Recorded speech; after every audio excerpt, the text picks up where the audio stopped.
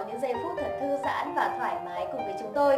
Và quý vị cũng đừng quên nhấn nút đăng ký kênh và chuông thông báo để có thể cập nhật được những thông tin mới nhất hàng ngày. Còn bây giờ thì mời quý vị hãy cùng đến với những tin tức nóng hổi nhất trong ngày hôm nay. Vì câu nói của bố Hoài Linh, Hoài Lâm quyết định làm điều này sau nhiều năm. Hoài Lâm quyết định quay trở lại showbiz với nghiệp ca hát sau câu nói đầy ẩn ý của bố Hoài Linh có lộc mà không biết giữ.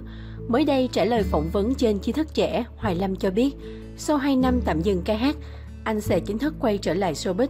Hoài Lâm cho biết để đánh dấu sự trở lại này, anh đã nhận lời tham gia live show của bố Hoài Linh. Bên cạnh đó, Hoài Lâm cũng cho biết, trong khoảng thời gian tạm dừng nghệ thuật, anh cũng đi làm những công việc như bao người bình thường khác để kiếm tiền lo cho cuộc sống. Hoài Lâm là người con nuôi, luôn khiến danh hài Hoài Linh tự hào yêu quý. Tuy nhiên khi nam ca sĩ đang ở đỉnh cao thì bất ngờ tuyên bố dừng sự nghiệp và muốn lập gia đình. Thời điểm đó, danh hài Hoài Linh đã bày tỏ sự thất vọng về người con nuôi. Nam nghệ sĩ chia sẻ thẳng thắn, giờ Hoài Lâm có lộc mà không biết giữ, tôi nói không nghe thì đành chịu. Hoài Lâm tiết lộ quyết định của anh khiến bố Hoài Linh giận và không muốn nhìn mặt. Tuy nhiên, sau một thời gian, nghệ sĩ Hoài Linh đã dần cảm thông hơn cho người con nuôi này. Có lẽ chính vì lý do đó mà Hoài Lâm sẽ góp mặt trong live show của bố nuôi với tâm lý thoải mái. Sau một thời gian biến mất khỏi showbiz, gần đây Hoài Lâm bị bắt gặp với hình ảnh xuống sắc. Không còn chàng hoàng tử bolero, Hoài Lâm thay đổi nhanh chóng. Với mái tóc cua sát cùng những hình xăm trên cơ thể, sự thay đổi của Hoài Lâm phần nào khiến fan ngỡ ngàng.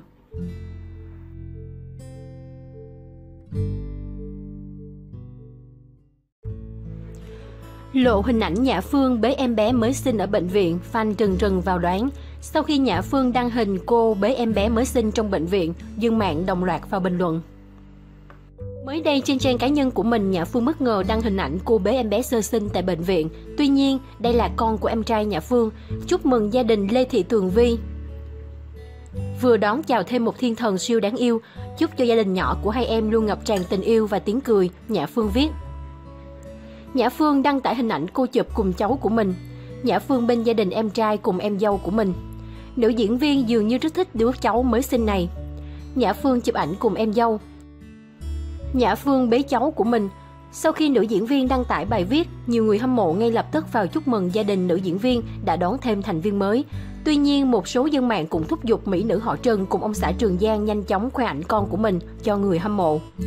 Nhã Phương Trường Giang chính thức về chung một nhà năm 2018, trải qua bao nhiêu sóng gió từ khi công khai tình cảm. Cuối cùng cả hai đã tổ chức kết hôn với nhau. Đầu năm 2019, nhà Phương dính tin đồn sinh con gái đầu lòng. Tuy nhiên đến giờ cả hai vẫn chưa lên tiếng về việc sinh con. Trước đó trong một bài phỏng vấn, nhà Phương từng chia sẻ với báo chí rằng khi nào có vợ chồng cô sẽ chính thức thông báo với truyền thông. Đến giờ nhiều người vẫn mong mỏi việc nữ diễn viên lộ hình ảnh con của mình mỗi khi vợ chồng cô xuất hiện trước truyền thông và công chúng. Tuy nhiên cả hai đều giữ im lặng về việc đã sinh con đầu lòng.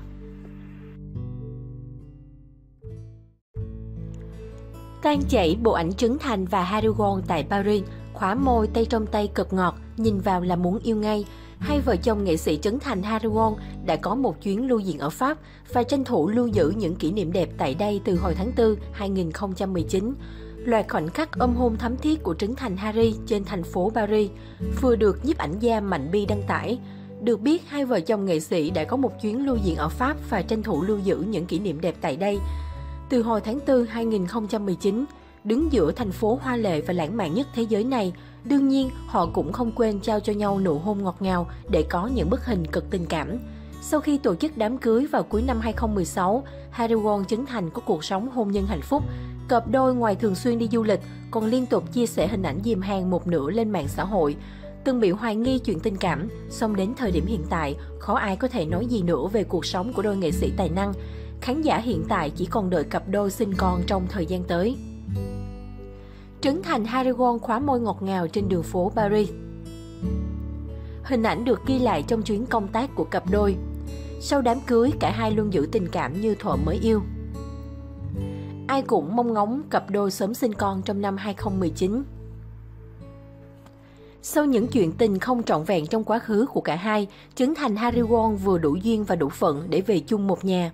Năm 2016, khi cả hai quyết định kết hôn với nhau, nhiều luồng ý kiến trái chiều của cư dân mạng xuất hiện. Nhiều người cũng ngờ vực tình cảm họ dành cho nhau và nghi ngờ về cuộc sống hôn nhân của họ.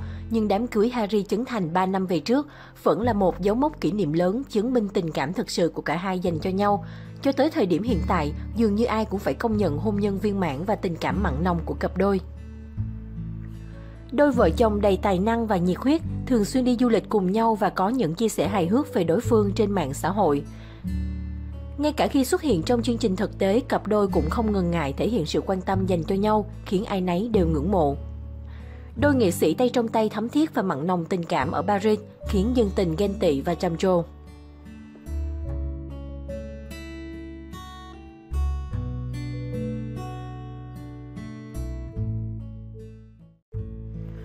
Dẫn dắt người ấy là ai ấn tượng, MC Trấn Thành được showbiz khen ngợi đang ở đẳng cấp khác. Bảo Anh, Thiều Bảo Trâm cùng khán giả có những phản hồi tích cực về Trấn Thành khi làm MC người ấy là ai. Trấn Thành là một trong những ngôi sao hot nhất làng giải trí hiện nay, không chỉ tỏa sáng trên sân khấu hài kịch, ông xã Harry Won còn ghi dấu ấn với khán giả trong vai trò người dẫn dắt các game show truyền hình. Dù đôi lúc gặp sự cố nghề nghiệp, nhưng Trấn Thành vẫn chứng tỏ được sức hút hiếm ai sánh bằng khi làm MC. Anh ghi điểm với khả năng xử lý tình huống nhạy bén, ngoạt ngôn, cùng cách dẫn chuyện duyên dáng mà vẫn không kém phần hài hước. Thời gian gần đây, Trấn Thành nhận được nhiều phản hồi tích cực từ khán giả khi tham gia dẫn dắt chương trình Người ấy là ai. Mới đây, quản lý của Harry Won cũng trầm trồ khi chương trình của nam danh hài đạt được lượng xem lớn, 2 ngày 4,6 triệu view và top 2 trending YouTube cho một chương trình dài 1 giờ 55 phút là gần 2 tiếng đồng hồ đó mọi người ơi, kinh khủng, thật sự quá nể. Vẫn câu nói cũ, Trấn Thành là linh hồn cho show này, Hương Giang cũng duyên luôn, nể thật sự. Chia sẻ của quản lý nữ ca sĩ gốc Hàn đã nhận được sự đồng tình từ các ngôi sao trong showbiz Việt. Ca sĩ Thiều Bảo Trâm bày tỏ sự ngưỡng mộ đàn anh, lắng nghe thấu hiểu duyên dáng chân thành, sâu sắc hài hước, điểm 10 cho anh xin. Đầy đủ yếu tố vậy hiếm lắm chị ơi. Tiếp lời Thiều Bảo Trâm, quản lý của Harry Won gật gù tán thành, người nhà nhưng phải khen hoài vì nếu là MC, chị chưa thấy người nào qua được xin, đó là thật tâm nói, hai tiếng là quá kinh khủng, mà hai ngày 4,6 triệu view, bao nhiêu con người ngồi nghe ông nói không chán. Thiều Bảo Trâm tiếp tục liệt kê loạt điểm mạnh của Trấn Thành khi đứng trên sân khấu mà cô cảm nhận được.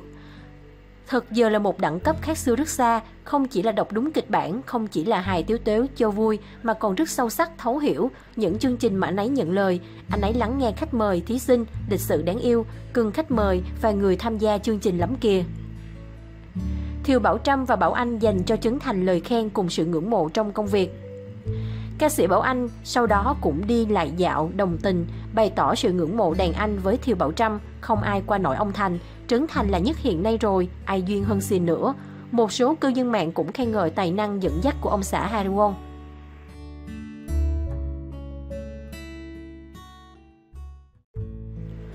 Không chỉ song song nhiều cặp sau việc hẹn thề suốt đời nhưng vẫn chia tay. Không chỉ có song song Ki, song Hikyo, showbiz Việt còn có những cặp đôi từng nắm tay, hứa sẽ bên nhau suốt đời, nhưng cái kết vẫn là đường ai nấy đi. Tim và Trương Quỳnh Anh Giống như anh đã từng nói, anh muốn sống với em đến trọn đời, đến già, đến khi không còn cái răng nào hay là tóc rụng hết, đó là điều anh muốn. Đang trên thời kỳ đỉnh cao của mình, Trương Quỳnh Anh bị phản ứng dữ dội vì scandal yêu đương bỏ bê sự nghiệp. Sóng gió qua đi tháng 8 2016, Tim bất ngờ cầu hôn Trương Quỳnh Anh tại một rạp chiếu phim thành phố Hồ Chí Minh. Kể từ giây phút này, hãy để anh nắm tay em, ôm em và yêu em đến suốt cuộc đời. Đó là những lời nói trong clip cầu hôn mà Tim đã chuẩn bị trước 3 tháng để làm Trương Quỳnh Anh bất ngờ. Một nghìn năm sau anh vẫn như vậy, quan trọng gì nhân tình thế thái khi trong tim anh vẫn còn có em. Vượt qua sự phản đối của gia đình, cặp đôi luôn muốn được khẳng định tình yêu của mình. Kết tinh của tình yêu sau 4 năm gắn bó là cậu con trai khấu khỉnh. Tuy nhiên tháng 7 2018, Tim xác nhận chính thức ly hôn Trương Quỳnh Anh. Khi đến với nhau, tôi biết Jenny là nửa còn lại của đời tôi. Jennifer Phạm và Quang Dũng gặp nhau qua bộ phim nhựa Những chiếc lá thời gian và hai người làm giấy lên nghi án phim giả tình thật. Chưa đầy một năm, Quang Dũng và Jennifer Phạm đã trả lời mọi nghi ngờ bằng một lễ đính hôn sang trọng tại thành phố Hồ Chí Minh. Dũng xuất hiện không ngựa không mũ, nhưng lời ngọt ngào thì nhiều hơn tôi tưởng. Vậy cho nên, Dũng đã hạ nóc ao chàng hoàng tử kia một cách rất thuyết phục. Jenny Phạm từng chia sẻ về cuộc hôn nhân đầy hạnh phúc của mình. Tuy nhiên năm 2009, cặp đôi đẹp như mơ đã đường ai nấy bước. Hoa hậu châu Á kết hôn với doanh nhân Đức Hải năm 2012, trong khi giọng ca Quy Nhơn vẫn một mình. Tôi lúc nào cũng hạnh phúc, sau một ngày bận rộn, cứ về đến nhà ở bên cạnh chồng con là tôi thấy hạnh phúc lắm. Jennifer Phạm từng lên tiếng tố Quang Dũng không làm tròn trách nhiệm người cha. Việc cưới vội khi chưa tìm hiểu nhau kỹ có thể là nguyên nhân đứt gánh cho cuộc tình này. Hiện hai người giữ mối quan hệ bạn bè tôn trọng lẫn nhau. Tôi cảm ơn ông trời đã cho tôi gặp và kết duyên với cô ấy. Đám cưới hạnh phúc của Trần Bảo Sơn và Trương Ngọc Ánh diễn ra ngày 26 tháng 11 2006 với sự chứng kiến đông đảo khách mời. Kể từ đó, người ta nhắc đến vợ chồng Ánh Sơn như biểu tượng của hạnh phúc và sự viên mãn. Trước khi gặp Ánh, tôi không có ý định lấy vợ, tôi thích cuộc sống tự do. Nhưng sự thông minh tình cảm của Ánh đã khiến tôi thay đổi 180 độ. Bây giờ nhiều khi không thoải mái như hồi độc thân, nhưng tôi rất hạnh phúc. Cả hai có cho mình một cô con gái vào năm 2008. Những tưởng đây sẽ là một cái kết hoàn hảo cho chuyện tình đẹp như phim của hai người. Tuy nhiên, năm 2014 hai người chia tay, Trương Ngọc Ánh sau đó có thời gian gắn bó với tình trẻ Kim Lý. Quang Huy, Phạm Quỳnh Anh Tôi đến với Quỳnh Anh chỉ đơn giản là vì mỗi khi ở bên cạnh cô ấy, tôi đều cảm thấy vui vẻ và bình yên.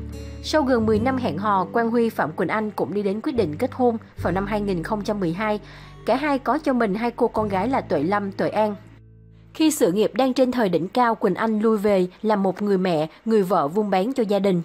Sự nghiệp của chồng, nụ cười con gái và giữ ấm cho ngôi nhà luôn là nơi anh Huy muốn quay về. Tháng 10 2018, ông bầu Quang Huy xác nhận ly hôn sau một năm ly thân. Dù chưa rõ thực hư câu chuyện như thế nào, nhưng ác hẳn Quỳnh Anh đã phải chịu nhiều tổn thương đến nhường nào. Quốc Cường, Hồ Ngọc Hà Càng cùng nhau vượt qua những sóng gió cuộc đời, Hà lại càng cảm thấy yêu Cường hơn bất kỳ người đàn ông nào Hà từng gặp. Cặp đôi yêu nhau bất chấp sự mỉa mai dè biểu của dư luận. Vào thời điểm yêu nhau, Cường Đô La luôn là người đàn ông đứng ra bảo vệ cho Hà Hồ mỗi khi cô hứng chịu bú rìu dư luận. Cảm ơn em thật nhiều vì anh không thể hoàn thiện. Nếu thiếu bóng dáng em trong cuộc đời này, anh muốn hét lên cho tất cả mọi người biết anh yêu em. Họ chia tay vào tháng 7 2015 sau 8 năm yêu và 4 năm chung sống. Có một cậu con trai khấu khỉnh là Subel. Hiện tại, họ đều đang hạnh phúc với cuộc sống riêng. Trong tháng 7, Cường Đô La sẽ chính thức về cùng một nhà với Đàm Thu Trang. Hồ Ngọc Hà cũng đang được cho là sẽ kết hôn với Kim Lý vào cuối năm nay.